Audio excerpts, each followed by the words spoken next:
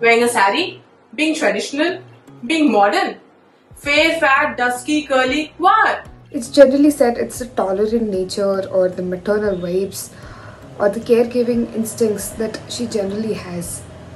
But I don't think it's true.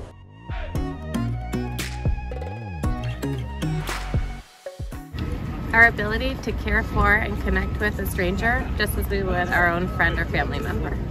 Behind a successful man is a woman. Behind a successful woman is always a woman. Women don't just have the ability to rise from the ashes but also bloom where they're planted. So, women actually have a lot of special qualities, right? So, all the strength that we carry, all the strength and weakness, weakness which we actually think is weakness, but it is also a strength. the ability to care about ourselves and everyone around us, from being emotional to being strong in all those worst situations. The thing that empowers me as a woman is the strength of my family. What makes me a woman is that having the courage to face the challenges in the society and to do what I want to do. We actually have the strength to bring in a change in the society or in the house or any any place that we go to. We are women because we are strong, emotional, smart and beautiful.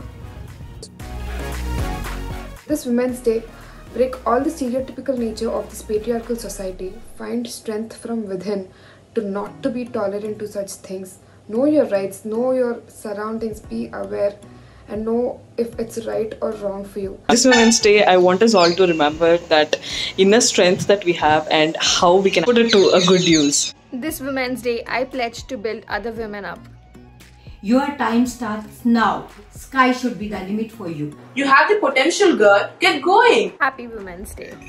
Happy Women's Day. Happy Women's Day. Happy Women's Day to all of you lovely, amazing, and strong women.